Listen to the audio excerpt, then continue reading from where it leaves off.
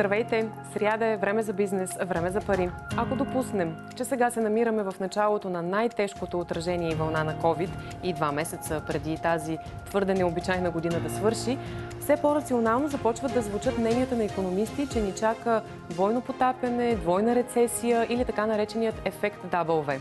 В подкрепа на тази теза и изказването на председателя на Европейската централна банка Кристин Лагард, че възстановяването вече губи скорост. Изследване на Блумбърг сочи, че през октомври економиката в еврозоната изпада в застой.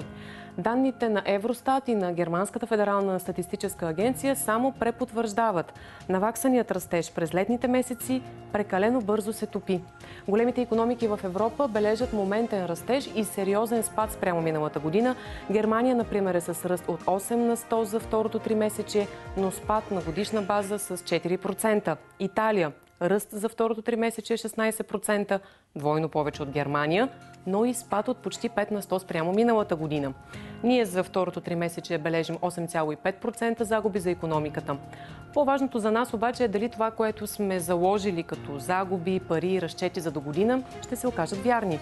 Дали правилно е прогнозиран спадът, дали правилно е предвиден баласта за пробойните, дали има ефект от антикризисните мерки и как и дали правилно ще разпишем бъдещите проекти по националния план за възстановяване, по който ще освоим 12 милиарда лева европейски ресурс. Следващите минути в Бизнес БГ ще говори економическият министр Лачазар Борисов.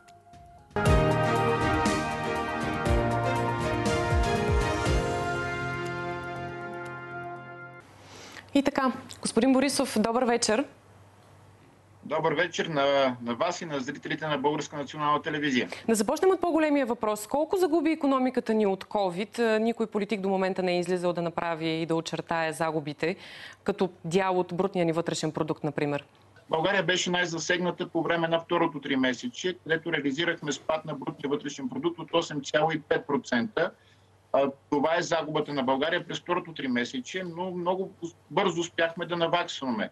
Но нека да кажа, през това второ три месече, което беше най-така негативно за всички економики, за целия глобален свят, България се представи много добре на фона на държавите членки на Европейския съюз и ние сме в, как да кажа, в тази една първа четвърт от държавите членки на Европейския съюз, които са с най-малък спад, защото имаше много държави като Испания, Великобритания, много други държави, които са в пъти по-зле от България, а спрямо средното ниво на Европейския съюз сме с 5-6 пункта по-добре от тях. Така че България беше засегната много силно, безпредседентно, но ние успяхме да бъдем сред първата една четвърт държави, които се представиха по-добре. За съжаление, моите лоши прогнози за нова пандемична криза се случват. Да, то всъщност важното е да видим какво ще се случи през третото три месеча и до края на годината с оглед втората вълна на COVID. Но пък казвате, по-добре сме на фона на европейските държави. Обаче, Сбъркахте ли с подхода в началото с антикризисните мерки? Повече сякаш заложихте на тези, които са под формата на заеми и фирмите очевидно първо процедурите са тежки. Фирмите очевидно по време на криза не искат да теглят толкова а, заеми, да се натоварват допълнително. Сбъркахте ли? В а, една такава глобална криза винаги бизнеса и хората очакват повече и повече и повече. Хубавата новина е, че мерките започнаха да работят. Това, което мога да кажа към ден днешен и концентрацията на изпълнението на мерките в последните три месеца, към момента Министерство на економиката, заедно с Министерство на труда и социалната политика са инвестирали в българската економика над 900 милиона лева. По линия на Българска банка за развитие фирмите, които са подпомогнати са над 740 с 103 милиона. Физически лица над 21 хиляди лева. По оперативна програма Инновация и конкурентоспособност, първата програма, която е разплатена, над 21 хиляди микро и малки предприятия са получили над 173 милиона лева, но тук ще надоговориме и ще отвориме програма за тези, които не са били одобрени още 6000 компании. Преведохме 30 милиона за транспорт, 10 за туризъм. От тук минаваме на мярката 60 на 40 по първия дизайн. 9000 фирми и спасени 180 хиляди работни места с 186 милиона лева. Новия дизайн, 140 хиляди работни места и 270 милиона лева. Всичко това прави над 900 а, милиона лева, които сме инвестирали. Добре, господин Борисов, защо тогава и как си обяснявате, самите работодателски организации много критикуват също управляващите и вас, че все едно до тях достига само мярката 60 на 40? Критикуваха първичното забавяне. Мярката за 60 на 40 беше една от най-добрите, защото тя докосна и големите предприятия. Всичко останало през оперативните програми не можеше да докосне големите предприятия. Това го направихме в момента с решение на Министерски съвет от миналата седмица. Вече и Българска банка за развитие ще работи и за големите предприятия. Какво предстои през този месец? Това е много важно да кажа.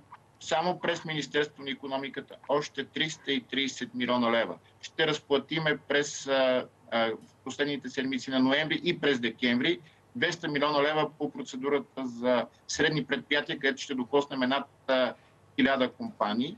Ще направим над договарянето, което обещахме на бизнеса и на синдикатите с 68 милиона лева по процедурата за производствен капацитет – по закона за насърчаване на инвестициите, може би следващата седмица ще изплата над 15 милиона лева. Добре, обаче, пак да ви върна на, на темата с различния подход. В бюджета реално, с новия бюджет за до година, не доказвате ли, където се залага повече на безвъзмезната помощ и към хора, и към вдигане на доходи, и към бизнеса, вие всъщност не показвате ли, че сега сменяте подхода, защото първоначалния може би не е бил правилен? По време на първото затваряне, по време на първия локдаун, Министерството на економиката беше заедно с търговските вериги, беше заедно с аптеките. Тогава доказахме, че ние можем да доставяме абсолютно всички предпазни средства към Министерството на економиката за Министерство на здравето. И това ще продължи. Ние ще бъдем на първа линия заедно с бизнеса. И това беше доказано вчера по време на менеджер на годината, което беше организирано с писание менеджер и участваше президента. Аз вече виждам тази синергия. От 10 компании, всички те са подкрепени от държавата и, и ние сме работили с тях. Това са нашите приятели. Аз имам няколко щаба. Имам щаб, който е с всички наши търговски представители от Министерство на економиката, които ще доставят всички необходими средства или доставки за бизнеса, ще помагат и на здравните власти. Имам щаб с аптеките, имам щаб с Агенция за малки и средни предприятия, които в момента поддържаме всички наши производители които произвеждат всичко за, за тази криза. Така че ние сме на линия. Говорейки за бюджета, този бюджет аз го наричам рационален, защото докосва всеки един от факторите на економическия растеж и в момента сме в една ситуация, когато ние трябва да използваме дори кризата и да преструктурираме българската економика, да бъдем много по-силни след тази криза. Дори да се наложи да теглим нов заем и да не успеем да се съберем в макрорамката, както все повече такива мнения се завъртат в общественото пространство. Да, бих коментирал и това. В макрорамката ние залагаме някакъв дефицит, който със сигурност ще бъде под 30% от БВП. И отново България ще бъде сред лидерите в Европейския съюз по този показател. Средното ниво на, на този показател по отношение на дълга в целия Европейски съюз варира между 70 и 80% в еврозоната. Има държави, които са над 100%. Да, но за следващите три години го увеличаваме почти двойно, не, но над 60%. Тоест, това също е една доста, доста сериозна стъпка. Въпросът е, по време на криза всички теглят заеми. Колко опасно е за нас това нещо. Защото ако ние не успеем да се съберем в, в тази макрорамка, която е разчертана, на каква база реално погледнато ще си правите и вие мерките? На първо място ние се събираме в тази макрорамка. На второ място България, пак казвам, ще бъде лидер. И ако чуваме такива упреци, че България продава своето бъдеще, не. Еми това означава ли, че държави като които имат над 100% дълг или над 70% или над 80%, каквото е средното ниво в Европейския съюз, са продали бъдещето или те са в несъстоятелност? Не са. Кажете за новата мярка по 24 лева, която за момента е само идея. 24 лева за служители, които са в фирми, които са спрели дейност. Как точно ще става всъщност? По сектора ли ще се раздели? За всички ли ще въжи? За колко време? Размера на помощта реално е два пъти по-голямо от минималното дневно обезщетение за безработица. Но и долу-горе, колкото минималната работна заплата на месец ще се получи. Точно това е една а, добра идея. Смятате ли, че ще има и смисъл от тази мярка? Защо хората да предпочитат да не отидат на трудовата борса, щом фирмата е затворила, да се възползват от тази мярка с 24 лева на ден? Това е избор на фирмите, избор за тяхната устойчивост. Това е абсолютно тяхно решение как ще реагират в а, тази криза. Минем на темата за плана за възстановяване, а, който ще изиграе ключова роля за възстановяването на економиката ни в следващите години. Струва ли ви се, че има приоритети и сектори, които са изпуснати? А, вече се чуха мнения на различни економисти, че някои сектори, да речем като туризма, не са обхванати, а са силно засегнати. А, абсолютно сте права. А, винаги бизнесът ще иска повече от правителството и това е нормално и реално в една такава кризисна ситуация, в която сме изправени. Това е план, който докосва и ни дава този шанс българската економика да се превърне в нова економика, в нова България. Той докосва абсолютно всички аспекти, започвайки от иновативна България. Там ще създадем нова агенция, която ще отговаря за иновации и за връзките с бизнеса. Бюджета там е 2,4 милиарда лева. След това имаме втория стълб Зелена България, където енергетиката трябва да се трансформира. 4,5 близо милиарда лева.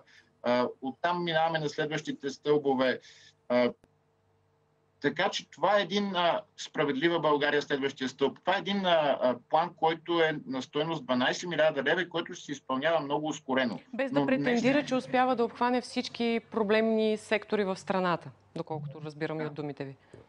Аз а, не претендирам. Това е само началото на дискусията. А, това беше работата на експертите. Имаме достатъчно време а, до момента, в който той трябва да бъде предаден. И аз считам, че България е първата държава, която към момента е подготвила проект. Този проект е дискусионен, който ние те първо ще дискутираме с нашите партньори, които наистина са е, нашите истински партньори, с които трябва да работим напред. Вече има ли яснота, има ли яснота по линия на React.EU или иначе казвам кохезионната политика, какво е, и къде ще бъдат конкретно насочени, казахте в началото на новата година? В началото на новата година продължаваме работата по React.EU там предвиждаме с тези 391 милиона две процедури дигитализация, възстановяване и потенциал за развитие. И втора процедура, която е цифрова и зелена, свързана с цифровите и зелени иновации. така че. Тоест, това, това ще, ще са възможности за фирмите какво да направят? Това, което искам да кажа. До тук приключваме с подкрепата за бизнеса с ликвидност. От тук започваме с пренастройката на економиката, с инвестиционните процеси и наблягането на инвестициите. А пък за щастие в такъв период ние получаваме инвестиции и отвън, и от български предприятия. Към този момент аз лично като министър на економиката мога да се похваля, че имаме вече над или около 750 милиона инвестиции, които са сертифицирани тази година, които започват тяхното изпълнение. Това са частни инвестиции.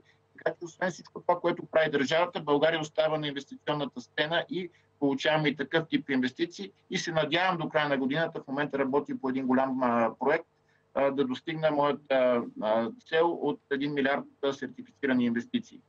Добре. Лачезар Борисов в Бизнес БГ, много ви благодаря за, за това участие.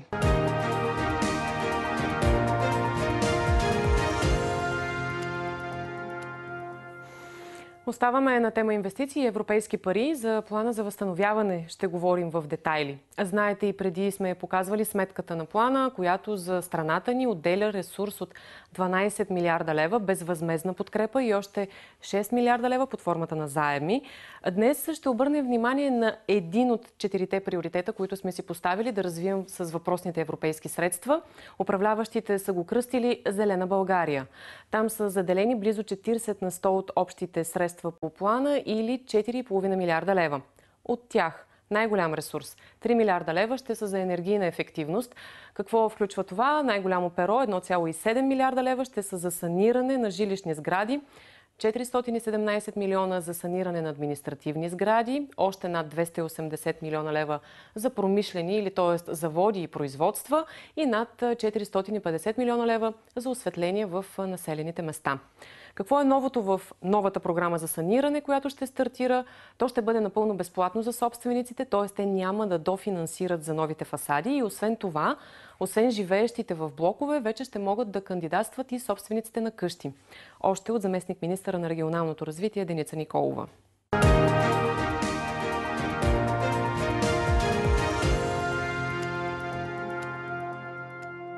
Госпожа Николова, защо точно санирането има такъв голям дял от енергийната ефективност в плана за възстановяване на страната ни? На практика интегрираната програма, която сме оформили в рамките на Министерството за енергийна ефективност е с наистина най-голям фокус върху жилищните сгради защото първо те са най-големите консуматори на енергия, най-големите замърсители, включително от гледна точка на парникови газове, спрямо анализите. В рамките на стратегията, която се изготвя в момента и е елемент на одобряване за жилищни и нежилищни сгради, които да претърпят саниране до 2050 година, са заложени и немалко цели, които сме си поставили както на национално ниво, така и на европейско ниво. Имаме поети ангажименти, затова и в рамките на ресурса от 3 милиарда лева, който е фокусиран именно в тази интегрирана програма за енергийна ефективност. Фокуса на жилищните сгради е с 1 милиард 728 милиона лева. От тях всъщност какво да очакват хората реално погледнато и кога? От тях това, което предвиждаме е да има компонент за еднофамилни жилищни сгради, нещо, което до момента не беше пряк фокус по отношение на възможности за финансиране и останалата част естествено ще бъде фокусирана основно върху многофамилните жилищни сгради, които са и с най-голямата необходимост от провеждане на мерки, които да водят до спестявания между 40 и 60% на енергийните консумации.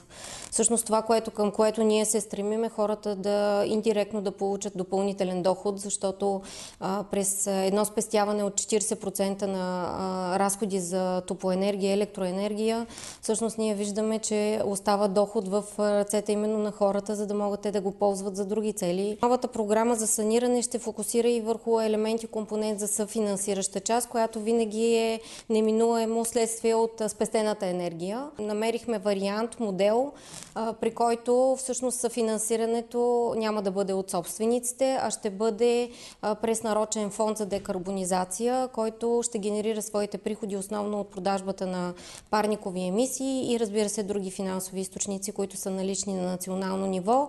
Така че добрата новина е, че новата програма за саниране всъщност няма да изисква допълнително съфинансиране от собствениците по отношение на мерките, които ще се изпълняват на територията на страната. Кога реално обаче може да заработи това нещо с оглед сроковете, които са за плана, с оглед кога ще бъде създаден и фонда? При всички положения първата стъпка ще бъде да прегледаме всички апликационни форми, които към настоящия момент са в рамките на сключените споразумения между Сдруженията на собственици и общините, да ги приоритизираме, да видим какви мерки са необходими, за да можем да надградиме всичко, което до момента сме правили и разбира се да дадем посоката за финансиране.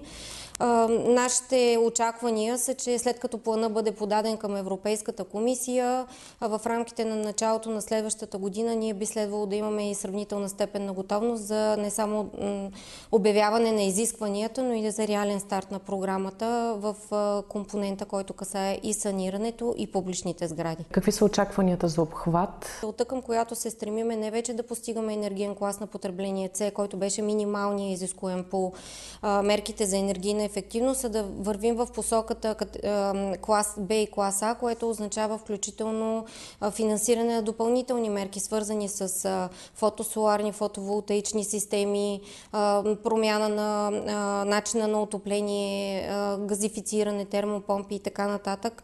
Това са елементи, които са съществени за постигане на по-висок енергиен клас и за по-голям... Тоест няма да е само да си представим една сграда, която отвън ще бъде санирана, но и ще се включат какво? В никакъв случай не вървим в посоката опаковане на сгради, по-скоро вървим в посоката, в която трябва да постигнем максимална стъпка на намаляване на енергопотреблението в една сграда. Има ли обаче наистина ефект от, грубо казано, санирането, както е много популярно, при условие, че и данните от страна на Министерството са ако не ме лъжа паметта, около 7%, че всъщност сградите отговарят на въпросните изисквания за енергийна ефективност.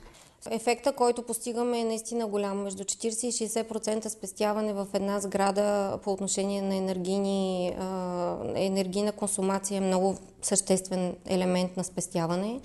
Така че всичко, което сме постигнали до момента, бих казала, че наистина а, дава една доста добра перспектива по отношение на цели, които имаме заложени към и включително Европейската комисия за намаляване на парниковите емисии и съответно намаляване на въглеродните емисии.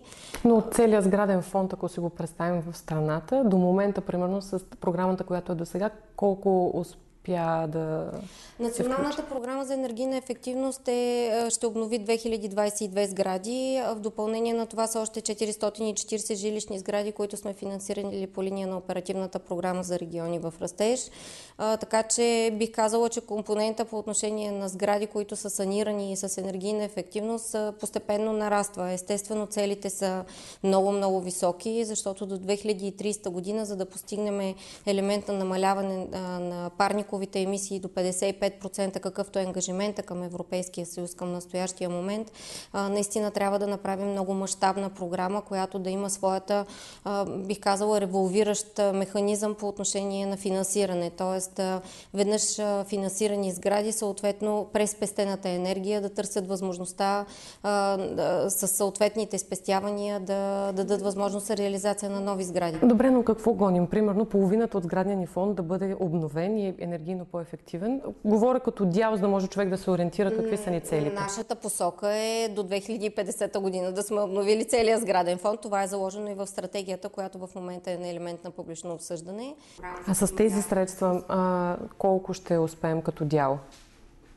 В момента, в момента това, което можем да кажем, че поне толкова, колкото до момента сме направили общо с оперативната програма и с, и с националната програма. Тоест, на практика ще удвоиме процента на вече обновени сгради. Какво още ще се е заложено в пакета за енергийна ефективност, в тези 3 милиарда лева?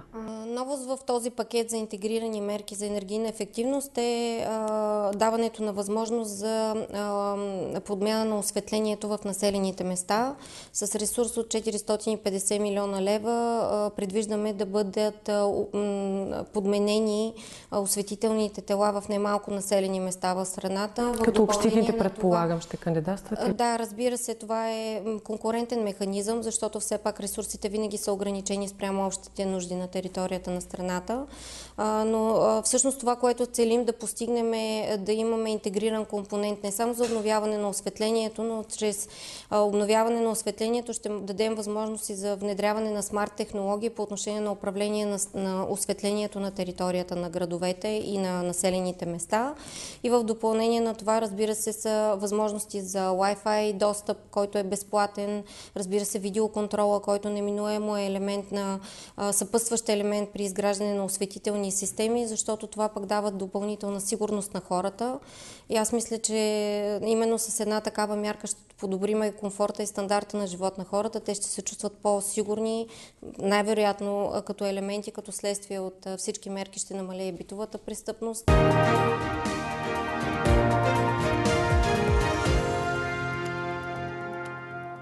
Изборите за президент на Америка едно от най-очакваните събития на финансовите пазари.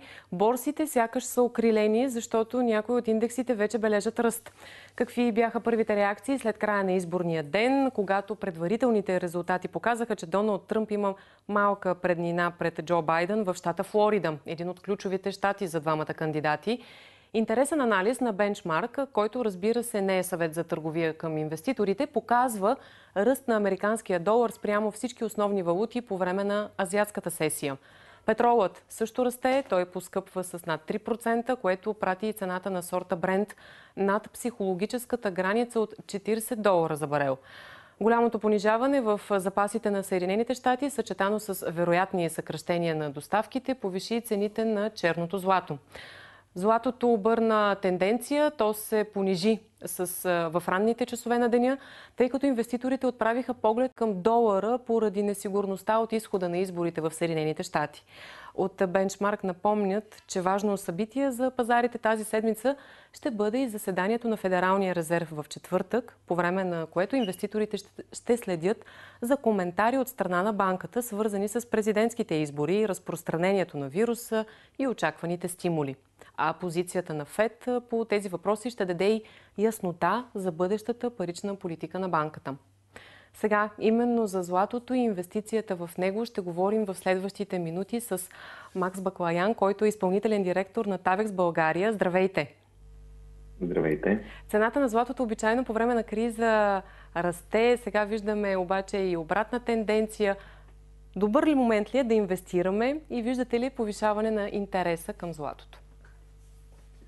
Ами, аз съм на мнение, че винаги е добър момент да инвестираме в злато, тъй като живеем в свят, където а, така наречените парични облегчения, а, печатане на пари, а, обесценяват паричната маса и единствената стабилна валута, реално погледната останала, е златото. А, плюс, че аз не бих казал, че цената на златото пада. Може би в днешната сесия е така, но а, инвеститорите в злато са по-скоро дългосрочни. А, те не са трейдери на борсата, а са хора, които купуват за по-дълъг период от време. Данни, които вие изпратихте за... Се е качило много. Данните, да, които вие изпратихте и от фирмата за това, че има ръст на, на ваши клиенти и въобще на хора към интереса за да инвестират в инвестиционно злато, имам предвид. А, като дял, примерно, от, да речем, ако аз самата искам да инвестирам, какво бихте ме посъветвали? Какъв процент от портфейла си да инвестирам в това? Сега ли е момента? Ами, това е изключително индивидуален въпрос и много е трудно да ви консултирам по този начин, но а нека да кажем, че човек трябва да инвестира толкова, колкото а, би бил спокоен да, да, да спи смисълта, че парите са му, му се намират на това определено място и в тази определена инвестиция. А, аз лично инвестирам всичките си средства в, в злато и сребро или много, много голяма част от тях, а, защото първо много вярвам, а, че от тук нататък цената му само може да расте. А, или цената на валутите по-скоро тук нататък може само да пада. А, и спа напълно спокойно, без значение на къде отишла цената му днес. Но ако никога не сте си купували злато, а, по-скоро бих ви препоръчал да се ограмотите малко, да разберете защо реално трябва да си закупите злато, а не да кажем държавни облигации или акции или каквото е да било там друго. Какво или според вас ще, ще по линия пак на, на златото и неговата цена, какво предстои в следващата година и въобще, даже не в следващата година, в следващите седмици, защото е много динамична обстановката? А, аз гледам на, на златото като инвестиции, поради тази причина гледам на него по-дългосрочно. Ако погледнем само ретроспективно, 1971 година, само когато се премахнаха златни стандарти в щатите, цената на, на, на злат, долара се обесценил в злато с 98%. Може да си представите каква огромна част от покупателната способност на долара е изчезнала. И това, което се наблюдава изобщо в световен мащаб, е много по-голяма зависимост на борсите, на бизнесите и на хората от правителствени стимули. Тоест ефтини или безплатни пари. Пример са щатите, където изобщо економическата реалност не е отразена на пазара на борсата. А от тази гледна точка, от тук нататък правителствата само и единствено могат да печатат пари, за да стимулират економиката, за да подпомагат бизнеса, вируса допълнително засилва тази тенденция. Така че, според мен, единственото нещо, което можем да очакваме е обясняване на цялата парична маса, тъй като всички държави са задлъжняли и всички държави ам, са задлъжняли до ниво, където вече няма кой да купува държавният им дълг, и трябва да печатат пари. Да се завърти пак този цикъл. Благодаря ви. Из, извинявайте, да, за съжаление коментара. Благодаря ви за коментара, но времето ни а, приключи на финала на предаването отново да ви подканя да продължавате все така да коментирате и да критикувате нашата фейсбук страница. Бъдете здрави и пазете дистанция до следващата сряда.